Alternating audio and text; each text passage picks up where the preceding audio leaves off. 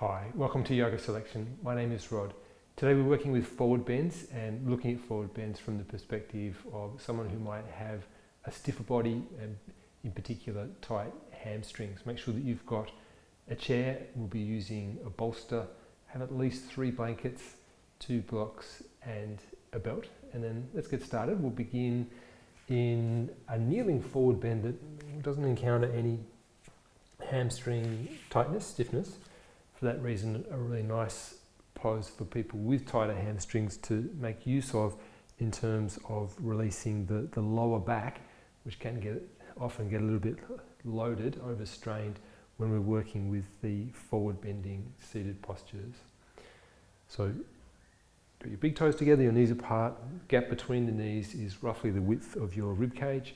Walk your hands away from your knees, make sure that your hips are staying anchored down and it's more important that your hips remain in contact with your heels and less important how close your forehead gets to the floor. For most people, particularly with stiffer body, the head will be a little bit up and off the floor.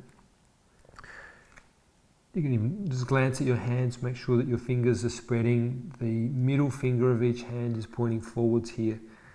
Firm contact with the hands down into the floor and use that as leverage to push your hips further back and further down. Feel how the lumbar spine lengthens when you do that. And the lumbar spine runs in that region of the body between the pubic bone and the navel. So literally you can lengthen there, pressing your hands down and when your hips anchor, you move your pubic bone away from the navel. Keeping your hips anchored, come back to the hands, press the hands down, just a little bit as if stretching the yoga mat away from the knees as you press your hands down. And feel how that really helps to broaden across the lumbar spine region. Again, that area from the pelvis towards the, the navel region. Here we're thinking more of the back of the body, but the skin, the, the muscle fiber there, spreading in an outward direction, away from the spine, towards the sides. And it's quite a nice and, and comfortable sensation to be working with. This, the, the lower back both lengthening and broadening. We're creating space for it. All right, and then let's come up, but now in comparison, we'll work with a standing forward bend where we do encounter some stiffness from the hamstrings. Let's just first of all do it without any supports. We'll keep our feet hip width apart. Uttanasana this is the pose. Feet hip width apart. Just have your hands to the fronts of your legs. That gives your back a little bit of support as you walk your hands down the fronts of the legs. And it doesn't matter where you come to. It might be around the knees. It might be around the shins. But more than likely, it's not a possibility to reach the floor. And don't even try to do that. And just and just check, and we're going to adjust in a moment. But some of the, the, the difficulties there is that we start to shorten through that lumbar spine area. Feel how the navel feels a bit pulled back in towards the pubic bone. The spine generally, it's short at the front and the, the back of the spine is sort of bulging up into the skin. It tends to collapse the chest and it's not a particularly comfortable sensation on the back either. So let's see if we can adjust the pose and make it more comfortable. So come all the way up. What we can do, if you just look this way, is use blocks for the head, so very common, but still for many people that's a little too low and it might look more like this, that you're, you're rounding the, the spine and the upper back in order to get down that low. So all we need to do there is just boost the height further and a really nice way of doing that if we just use our bolster, put the bolster across the mat, and then we can hold the blocks, with the tall blocks, place the blocks down onto the bolster, and then try that now. I'll give you a moment just to come into position. Still, you've got your feet a generous hip width, maybe slightly wider than hip width. Blocks are directly under your shoulders.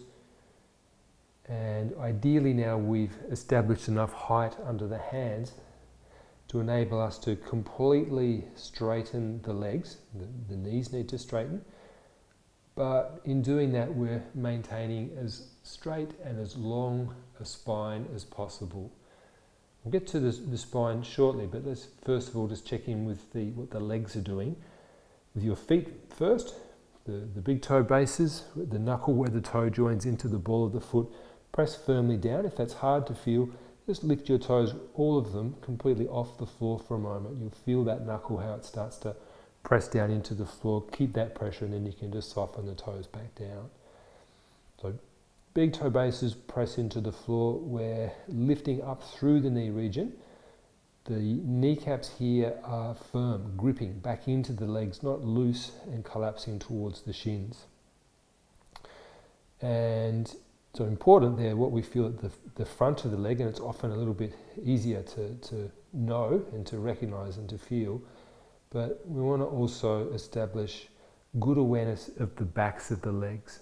So the back of the knee, it starts to open and there's that stretching sensation that many people feel, will be feeling throughout the backs of the thighs. It might run down into the calves as well. But through that, just focus on that region of the back thigh, quite close to where the knee is. So on the back of the leg, that last bit of the hamstring area before the back of the knee. And just see if you can lift that up more. The balls of the feet press down and that lower back thigh area, lift it up and then going higher still, just under where the buttocks are. The, that last region of the hamstring area, the back thigh, before the buttock region, lift up there. See if you can not just lift up, but spread open that region of the leg. We do that just a little bit by rolling the inner thighs back. Got the whole of the front thigh area lifting, the muscle here gripping firm, pressing back into the bone. And then with the hands pressing down, we can lengthen through the torso, from the pubic bone to the navel, we can lengthen forwards. We can move the sternum bone away from the navel. As we look up, we can move the chin away from the sternum bone. So we're lengthening the, the hamstrings without shortening the front of the spine and without rounding the upper back. Okay, release and come up. Notice how also we were able to maintain that longer timing, having the support of the, the arms that way. This next version of the pose won't hold quite as long because it will ask a little bit more of those muscles there in the lower back. They'll need to firm and grip. We're going to use the belt and put the bolster off to the side and we're going to be standing on the belt. So we don't want to make, we don't want to use a small loop of the belt here. We need to make the, adjust the buckle so that we can make as large a loop as possible with the belt. You could even undo the buckle altogether. And then we're going to stand on the belt. Feet, as we just had them in the previous pose, we've got the feet a little bit wider than, than hip width. Make sure your feet are straight, knowing that tighter hamstrings often makes the feet turn out. Make sure that your feet remain straight, toes pointing directly ahead. And be really specific where that belt is on each foot. It needs to be just slightly back from the base of the big toe. So it's not fully in the arch, it's not on the ball of the foot, just that little sweet spot there, just back from that knuckle where the big toe joins the ball of the foot and we're going to resist down with our feet onto the belt and that gives us something to pull up against with our hands as we walk our hands down the belt. So press the, with the feet, press the belt down into the floor, but with your hands and with your arms, pull the belt back up against the feet. Notice how that gives you leverage to lengthen more the, the front of the spine.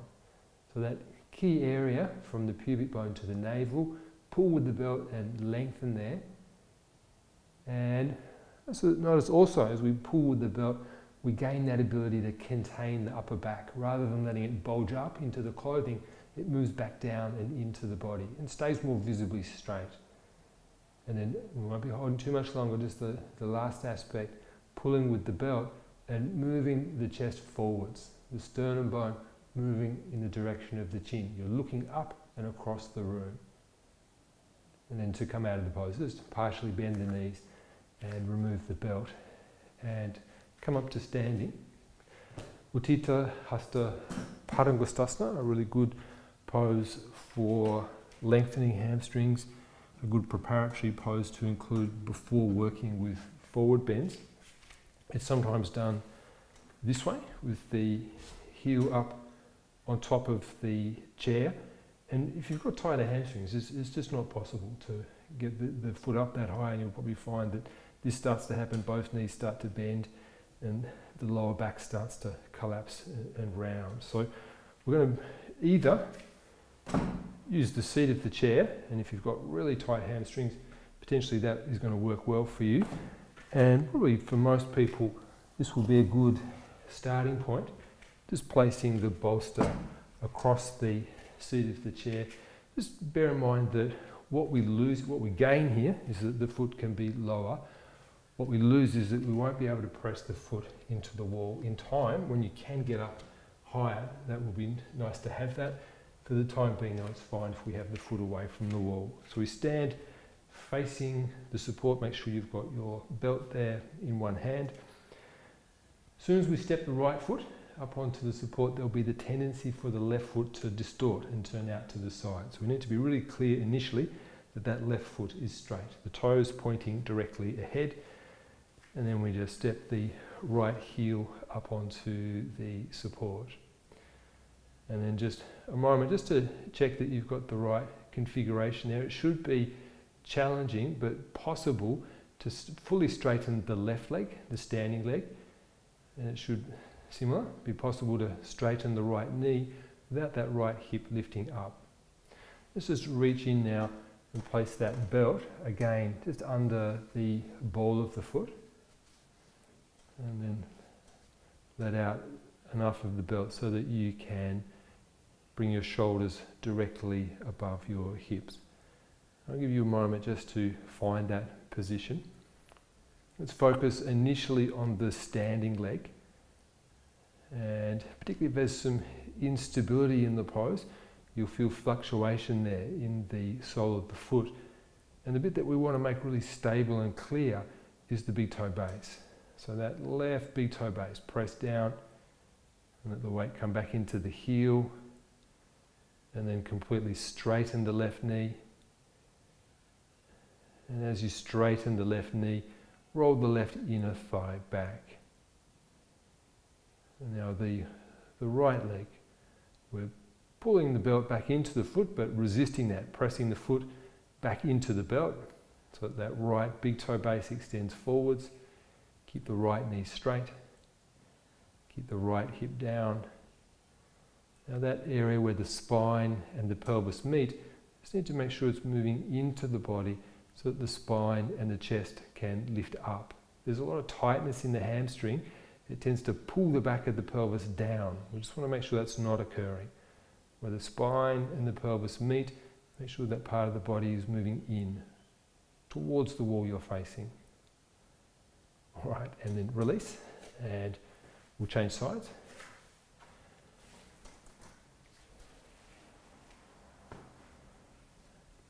A moment just to establish your balance, place the belt.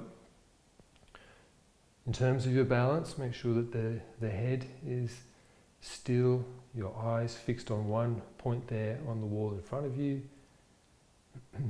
Make sure that the, the head is not tilting forwards and the eyes looking down, looking directly ahead. We need to check that that right foot has remained straight, the toes pointing directly ahead. It should be challenging but possible to get the right knee straight. If it's not quite possible, if you're not quite there, you just need to bring the support down lower. If you're easily able to do that, it might be that you're a little too low. As long as the stretch there is sustainable for the left hamstring. So the tendency, if there's tightness in the hamstring, is for the back of the pelvis to tuck under, get pulled under, and that's when the spine drops. So where that area where the spine and the pelvis meet, move in. The chest and spine lift up. Don't confuse that with the left hip lifting. Keep the left outer hip down as the spine and the chest lift up. That region of the chest just under the collarbones. lift it upwards and forwards. All right, and release. So um, mainly hamstrings we'll focus on, but the forward bends that we'll be working with today also will get into knees and, and the hips and the adductors. Let's work with the adductors now. So we'll just turn to the side so that we've got the right side of the body facing the chair and the support. We'll use the same amount of height for most people that will work well for both of these variations. Then we'll bring the right heel up onto the support. Just lean in, place the belt around the ball of the right foot. If you need to bend the knee in order to reach the foot, of course you can. And then the hand onto the hip. Left hand onto the hip. The right buttock, it tends to protrude back, keep it into the body. The right thigh crease, draw it downwards towards the floor. Now, in order to get your hips level, subtle point, but look for it, the right sitting bone actually needs to move a bit closer to the left leg. If the left leg is too active, it, it blocks that movement. So just make sure that the right sitting bone can move a little across towards the left leg. You probably feel as that occurs to the left outer hip, it just loosens a little. But then the left thigh press back without the right hip lifting. Move both buttocks in, the right one, also the left one. We don't clench the buttocks, but just enough firmness there to get them moving in an upward direction. And then the right waist lift, the right chest lift, and the left shoulder roll back. All right, and then we'll release. And left side. Make sure that you're judging your distance correctly, bringing the foot up onto the support, ensuring that the right ankle is directly beneath the right hip. The belt there you're holding with the hand, make sure that you're not leaning towards it in order to reach out. Let as much of the belt out as is necessary to keep your spine perpendicular to the floor. Left buttock in. Now the left thigh crease, literally the crease that the leg makes where it joins into the pelvis. Move that thigh crease in a downward direction. As you do that, the left sitting bone, it needs to move a little closer towards the, the right leg. And I can feel it. If I place my right hand here, Can feel the hip cycle just a little bit push out in that direction. We'll allow that to happen so that the pelvis can sit more level to the floor. And then without the left hip re-lifting, the right thigh press back. The buttocks move in. The, the left one, move it forwards. Just a, a subtle action, slight tightening of the right buttock. And then resist with the foot, pull with the belt, lift the left waist up, the left chest up, and move your right shoulder back. Looking directly ahead, make sure that you're not looking down, the head staying back over, vertically aligned with the right ankle. All right, and then we'll release, and let's get down onto the floor now. We'll move our bolster and chair out of the way. Bolster could be a nice support for this next post to sit on, but we're going to just to be able to customize height a little more effectively, we'll use blankets. Let's use two blankets. And so blankets generally will always start in this configuration, in this fold, and we'll revert that to a, a broad three-fold blanket. So we're starting here, we fold the blanket in thirds one way, in thirds the other way and then we get a nice thick folded blanket in this oblong shape. We're going to need two of these, one stacked on top of the other. And we're going to be going to oppose Baddha Konasana and it might highlight not so much the, the stiffness in the hamstrings, we're going to get to that, but definitely the adductors, we've just looked at them, also the, the hips themselves, the knees, potentially the ankles a bit as well. So we're going to be sitting on these blankets. You can put blocks down either side of you as support for your knees. But if there's a lot of tightness there, often the knees will be supported by that tightness itself. Bending the knees out to the side, sliding the soles of the feet in together. And because we're sitting on those two threefold blankets, we will be with both hands holding the ankles, knowing that the, the more classical position here for the hands is interlocking the fingers and placing the hands around the outsides of the feet. But if we were to do that here, it would involve stooping forwards, and that's the exact opposite of what we're looking for in today's class. So just holding with both hands quite firmly the, that last bit of the shin region before the ankle, and then we can actually with the hands pull against that part of the leg as leverage to lift the spine and the chest up. Some of the poses that we'll be following, we'll be able to use our leg strength to support and lift the spine. It's a little bit harder in this particular pose. Not completely impossible though. We've got the ability to contain that area between the outer heel and the outer ankle. So just spend a moment, bring your attention, your awareness to that region of each foot, that point in between the outer heels and the outer ankles. We just want to make sure that that region of the foot is not sinking, collapsing. It needs to be contained, lifting up and into the body. And in addition to that, the heels, rather than just being passive, we're squeezing the heels against one another. Feel how that just helps to open the hips a little more. And the inner knees, they lengthen outwards away from the center line of the body. As we lift our spine and chest up, the outer thigh creases, they stay down. We want to avoid those outer thigh creases feeling as if they need to push forwards and lift up as our spine and chest lift. See if you can make the separation, the spine and the chest lifting up, but those outer thigh creases staying down. The knees generally just have a nice feeling of being relaxed, they're not getting tense and pushing up as we lift our chest. Roll the shoulders back, move your shoulder blades in, lift and open the chest in a forwards and upwards direction.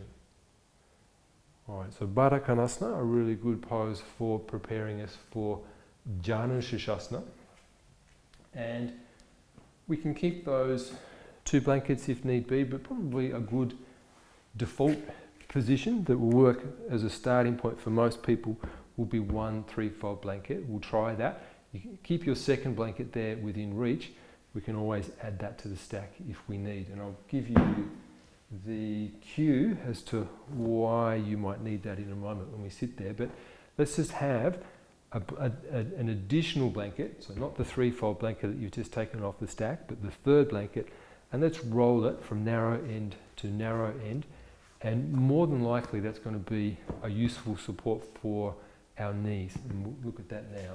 So sitting with your belt within reach, back up onto the three-fold blanket. We've got our, let's we'll today work with the right leg as the straight leg first. So we'll be bending the left leg. First of all, the knee bends up towards the ceiling. And then we just let the leg turn out so that the knee turns out to the side. We bring the sole of the left foot adjacent to the inside of the right leg. And then we just manually slide the heel back so that the left heel aligns with the inner groin of the right leg. We then just assess, I should show first without the support, we assess whether or not our knee, the bent knee, can come all the way to the floor.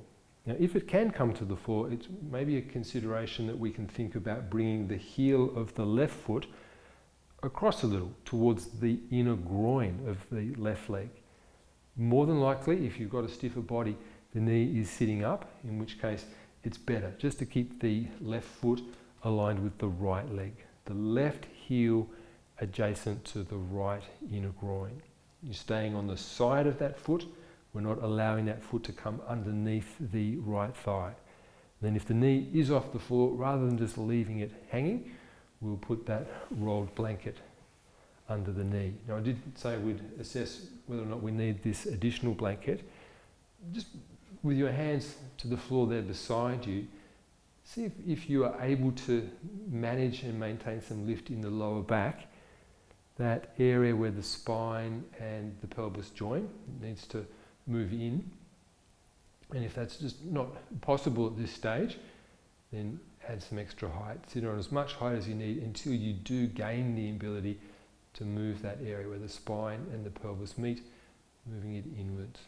Once we've established that, we'll take our belt. If you need to bend the knee to reach the foot, of course, do so.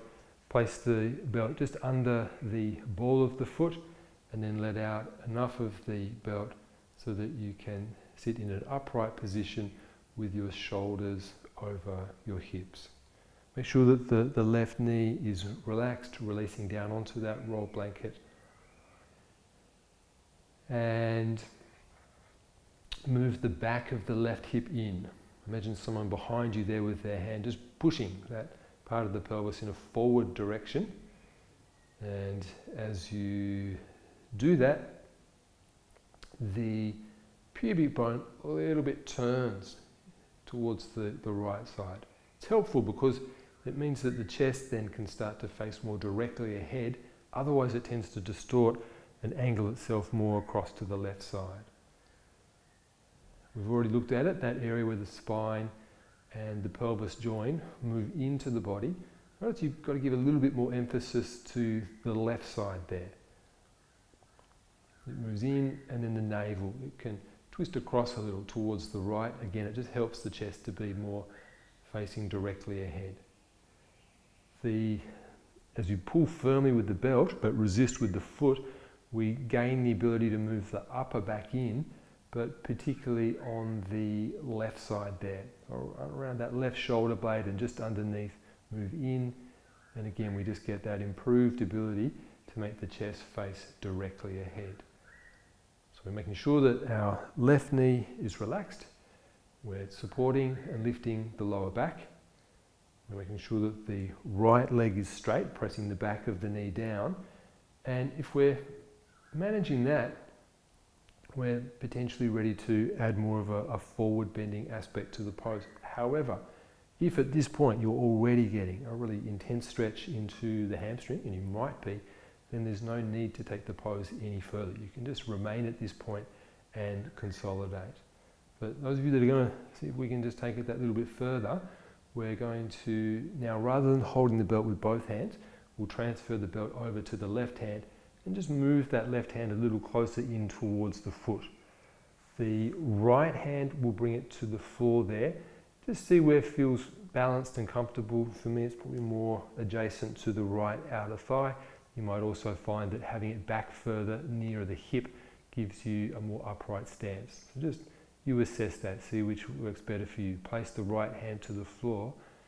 And so we are thinking of coming forwards, leading with the chest, but before we get too far into the forward bending action, let's focus on relaxing the left knee. Make sure that it's releasing down into that blanket or the floor if you're not using the blanket.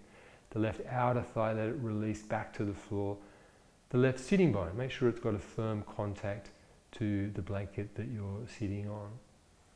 But then pulling with the belt, pressing with the right hand, and we turn the pubic bone towards the right side and the navel, it turns towards the right side as we start to come forwards, but we're leading that forward bending action with the left side of the chest. It's under the left collarbone there, lift upwards and forwards to the space there directly above the right foot. Keep the right foot active. As the belt pulls back into the foot, the big toe base it projects forwards, the right inner heel as well, projecting forwards. So we're coming forwards, but minimizing the collapsing in the chest, sinking in the chest, and also minimizing the degree to which the upper back rounds, keeping the spine as straight as possible as we come forwards. All right, and then release, and let's change sides. We'll bring the rolled blanket across to the right side. Just start with the, the right knee facing up, and then we just let the right knee come out to the side. Slide the foot in so that the sole of the foot is touching the inside of the left leg, and then with the hand just manually, bit by bit, perhaps sliding the heel back as close as possible to the left inner groin. Assess the knee. If your knee is comfortably, easily coming to the floor, maybe you, could consider potentially reducing the height. However, the focus of the class today is for people that are sort of tighter in the hamstrings, the hips, the adductors. So more than likely it means that we're going to stay on this threefold blanket and keep the heel of the right foot aligned with the inner groin of the left leg. In time, once the, the body is more flexible, we'll think more about bringing the heel across towards the right side and turning more onto the top of the right foot. Stiffer body though, we, we keep the foot more at a right angle to the shin bone and we stay on the side of that foot. The sole of the foot is facing inwards towards the left leg. Leave a comfortable gap between the heel and the pelvis. But as the flexibility increases, know that you'll be looking to bring the heel closer and closer to the pelvis. Place the belt under the ball of the left foot. Look at your hands. And just check their distance away from the foot. It's very common here for the right hand to sit a little behind the, the left hand. Don't allow that to be the case. Walk the hand, if necessary, up the belt so that both hands are equal distance there from the foot. And that adjustment really, we notice it in the hands, but it's intended for the chest. The reason the right hand tends to drag back is because the chest on that side tends to get a little bit pulled back. And then just pause there for a moment. The back of the right hip move it into the body. So we gain the ability to do that by pulling with the belt against the foot, moving the back of the right hip in. Pulling with the belt where the spine and the pelvis join, move into the body. It's quite a small point, but just isolate it the right side of that point, move it in. And then the navel starts to turn quite naturally across to the left.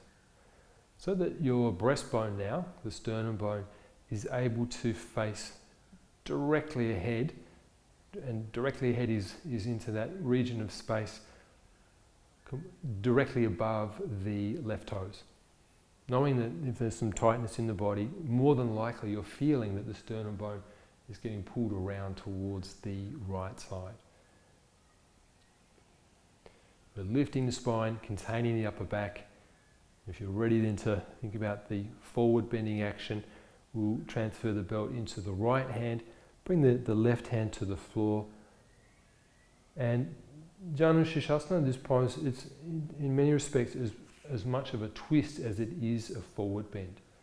So the twisting action, it comes from turning the pubic bone towards the left, turning the navel towards the left, bringing the right chest forwards and upwards towards the left foot.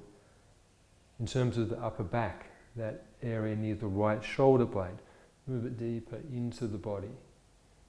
And as we're coming forwards with the chest, we're lifting the spine up and out from the pelvis, maximizing the length there from the pubic bone to the navel. All right, and then release, and we'll come up. And Make sure again that you, you, so the roll blanket we'll just put off to the side. You've got that extra three-fold blanket. If you're not already sitting on it, make sure that it's there within reach. We may need to sit on it for this next pose. And in fact, knowing that the emphasis of this class is for people that are working with stiffer bodies, let's go with the assumption that we're going to need a little bit more height than a three-fold blanket. So commonly that would be an average amount of height and for many people that would work well. There's some stiffness in the knees, in the hamstrings, then doubling that height will definitely be beneficial. When we sit on the three-fold blankets, we sit with both of the sitting bones onto the three-fold blankets.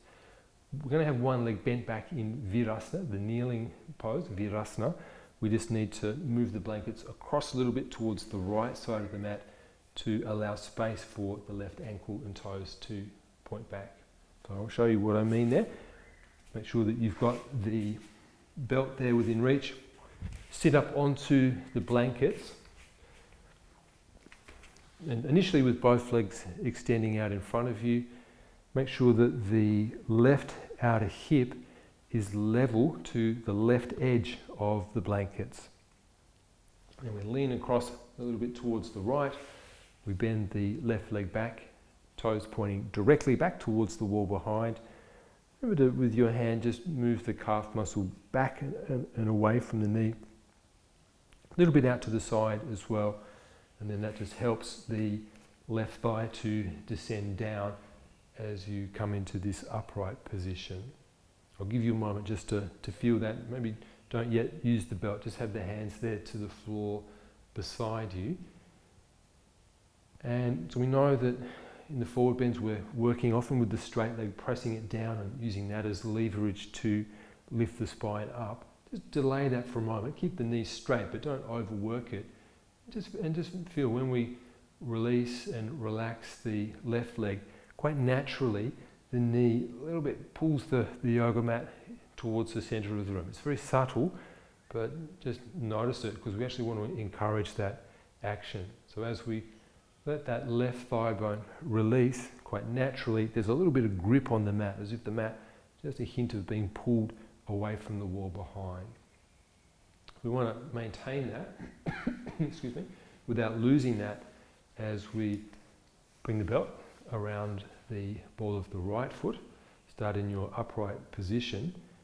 And now press the right thigh down, but without losing that nice release that we've established there in the left thigh bone. Left thigh bone, it releases down. The right thigh bone, it presses down. Now, I haven't mentioned, but if your hips at this point are not level, if the left hip is lifting higher than the right hip, it just means that you need to add additional height. You've got a third blanket. You might even need to just pause the video, fold that into a threefold, and then add that to the stack. Sit on as much height as you need in order to keep your hips level. The bolster also is a, a good prop that we can use here in addition to three threefold blankets if need be. So you can't use too much height here, just use whatever height you need in order to get your hips level. So we're pulling the belt against the foot, pressing the foot back against the belt. We move the back of the left hip in. Feel it, the knee just a little bit nudges forwards as we do that, and we can turn the pubic bone towards the right side. Again, so that the chest is facing straight ahead towards that space there directly above the right toes. If we're able to maintain lift in the lower back and opening in the chest, then there's the option of going forwards. For many people with tight hamstrings, you'll probably find already you're getting a sufficient stretch and there's no need to take the pose further. In today's video, we won't be taking the pose too much further, but the way we add that little bit of extra forward bending, we could just keep the, the belt there and bend the elbows out to the side. And another time we could look at that. But for today, holding the belt in the left hand and bringing the right hand down to the floor. It gives you that little bit of extra support in terms of balance. It gives you that extra bit of support in terms of keeping the spine lifting and more straight. It also, in combination with the belt, helps you to twist a little bit so that the pubic bone, it can come around towards the right side. You feel as you do that quite naturally, the, the bent knee just nudges forwards towards the center of the room. You allow that. As the right thigh presses down, it pulls back into the pelvis a little. You allow that. But check though that the right big toe base and inner heel is extending forwards. As we come forwards, we're making sure that the chest evenly comes forwards. Often it's the, the left side of the chest that needs that little bit of extra attention otherwise it tends to get pulled back. Okay, we'll release and we'll change sides. Bring the blanket across towards the right side of the mat so that you can now sit up onto the blanket, both sitting bones, but leaving enough room there for the right leg to come back into Virasana. Just moving the calf muscle back, a little bit out to the side, sitting upright. Place the belt under the ball of the foot. Before we get too active again, just let the pose settle and that, that right thigh bone relax. Notice when it relaxes, you can feel the skin on the head of the shin bone there, just a slight gripping of the mat and pushing it away from you. So you don't look for that, it just happens naturally, don't overdo that movement. But equally, we just want to make sure that the opposite's not happening. We don't want the knee to be pulling the, the yoga mat away from the left foot.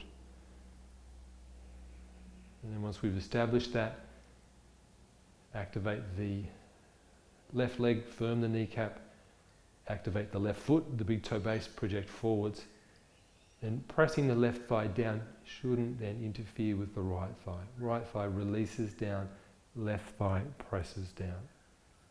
Pulling with the belt, move the back of the right hip in, where the spine and the sacrum join, move in. So it makes you taller. Your eyes will reflect that back to you. Your eye level is higher as you look across the room opposite.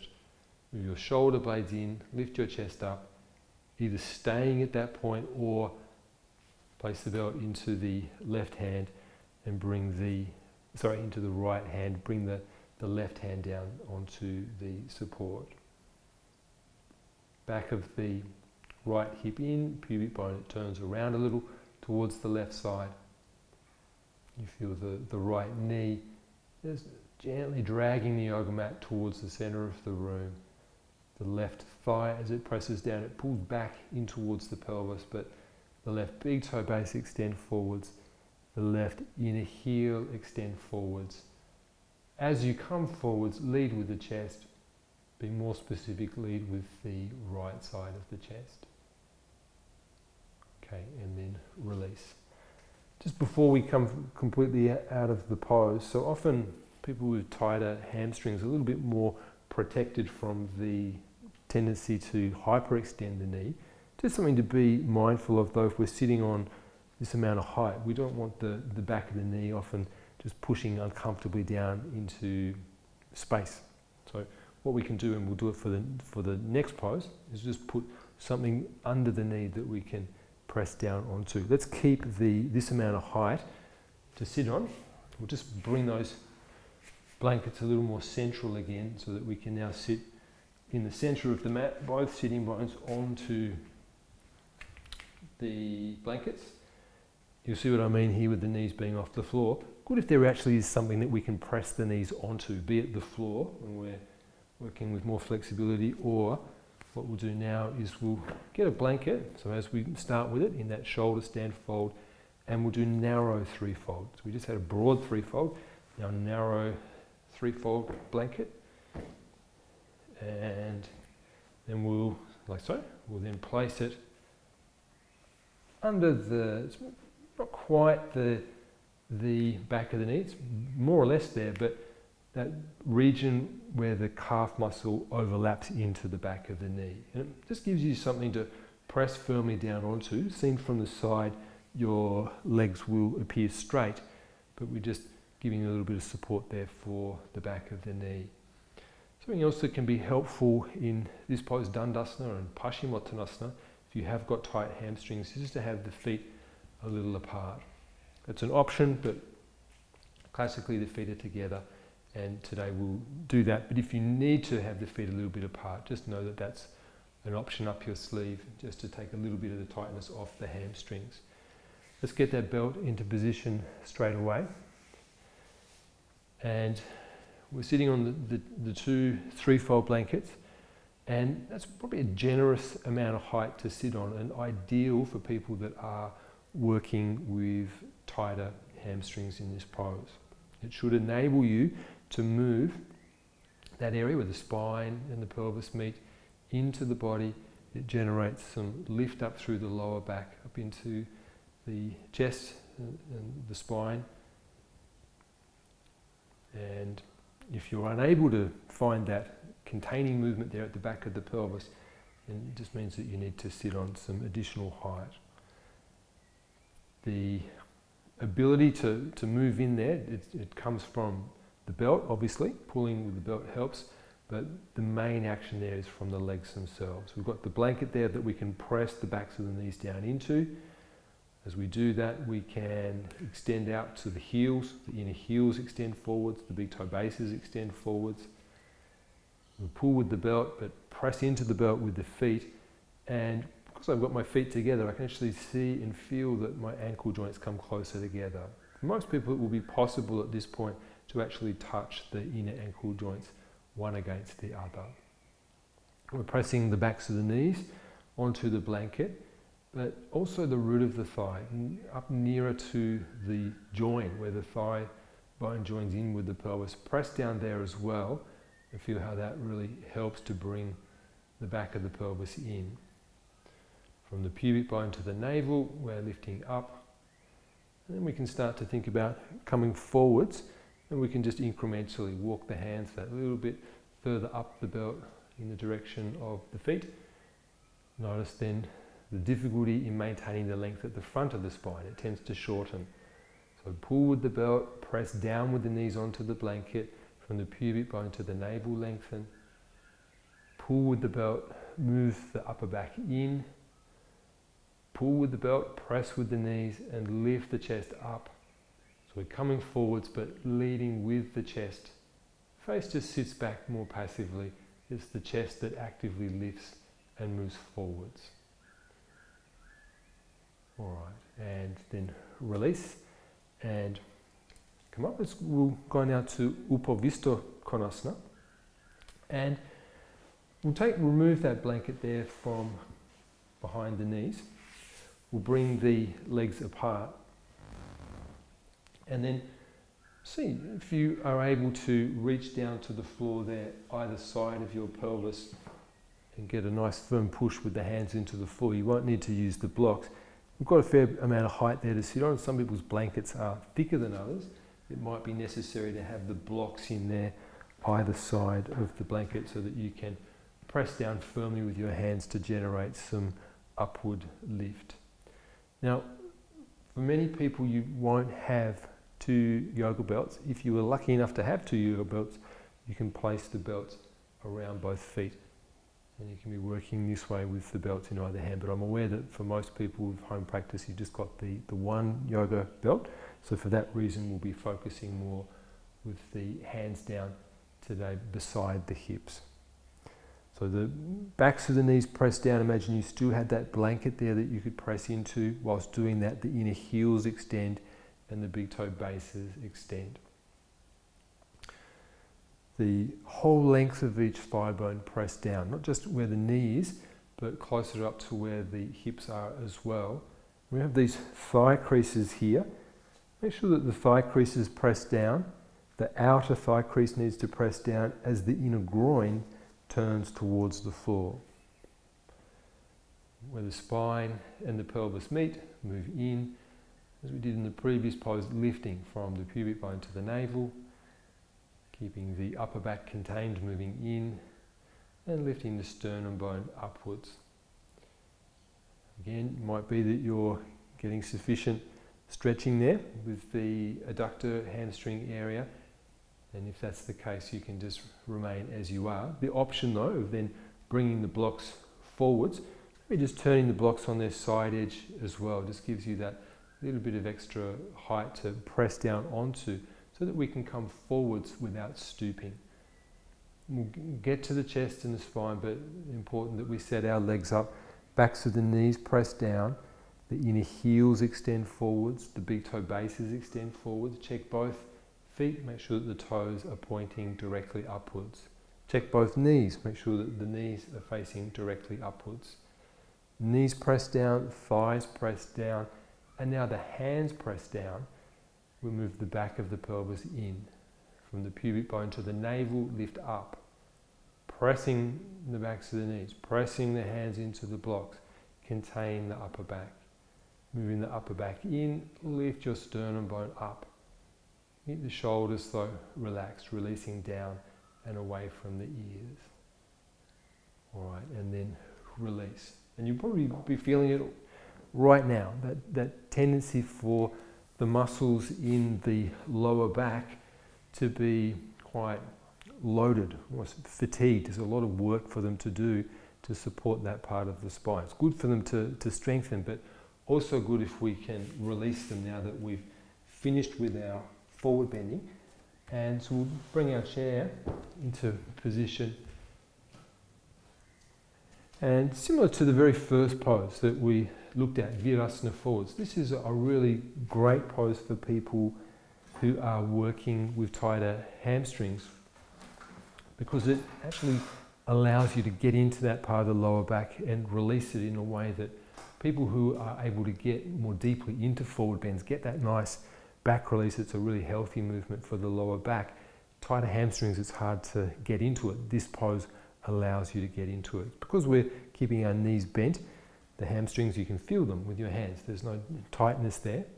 Sit far back in the chair, have your feet apart, have your knees wide enough apart so that your shoulders will fit in between them, and then just reach forwards with your hands and touch the floor there between the feet, a little forwards of the feet. Don't let the feet be passive here. Lift your toes up, press your heels down, and draw the thigh bones back into the hip sockets so that you're using your feet to press your sitting bones more firmly down into the seat of the chair. From there, we can let the elbows bend, the arms relax, and at this point, we start to get that nice traction release through the lower back. A really healthy movement to be working with if you are someone that does have tighter hamstrings. The option of either staying at that point or with both hands reaching through the in between the, the front legs of the chair. You can hold the back legs or crossbar if it's there. And then once you're gripping that crossbar or the back legs, lift the head and look across the room. Keep pressing your heels down Keep pressing your sitting bones back into the seat of the chair. Okay, and then let's release and come up and we'll set up now for Shavasana. And we'll keep the chair for Shavasana. We'll, use it as a support for the calves to rest onto. So have the chair at the end of the mat, the front of the chair faces the mat. We'll have a half fold blanket for the head to rest onto. Make sure that you've cleared all of your equipment out of the way. If you need any extra blankets to stay warm, make sure that you take them. In particular, make sure that you're allowing enough room for your arms to come comfortably out by the sides.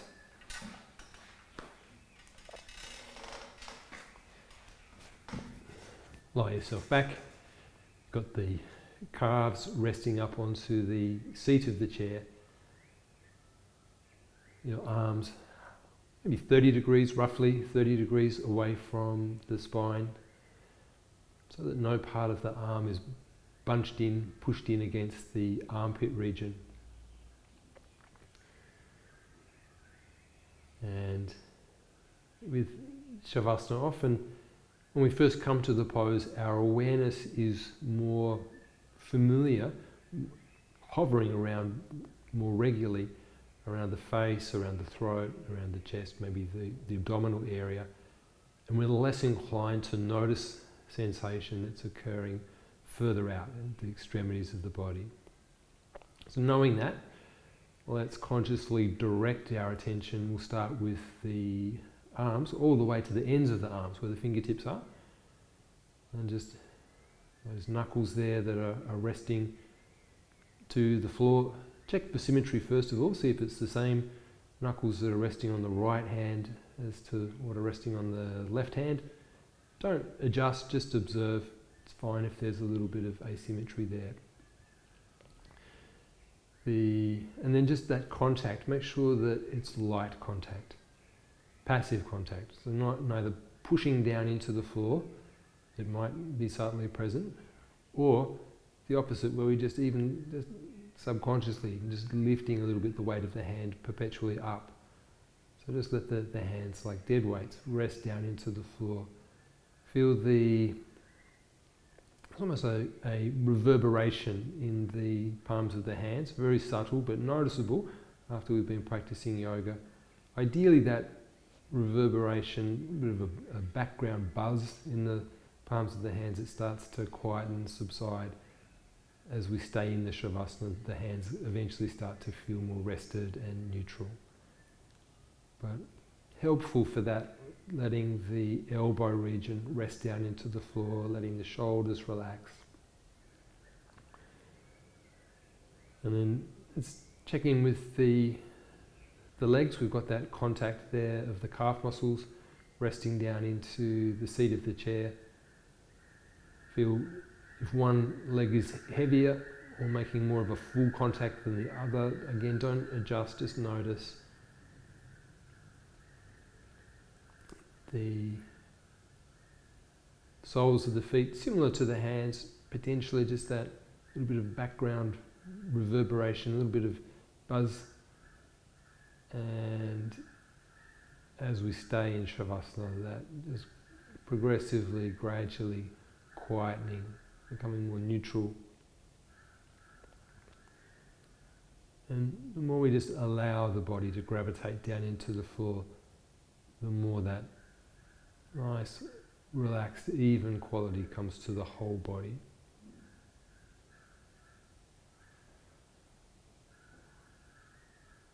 Let's check the, the breath, the rhythm of the breath.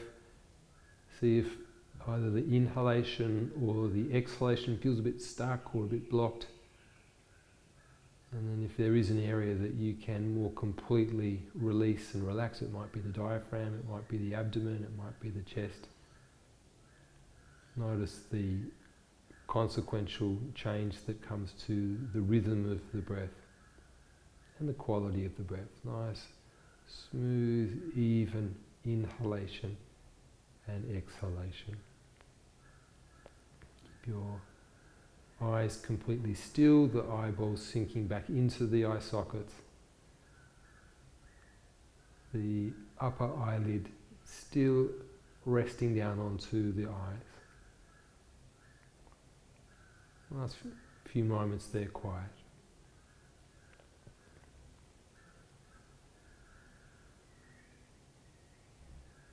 Okay, and then let's take a couple of slightly deeper in breaths. And then knees can come into the chest.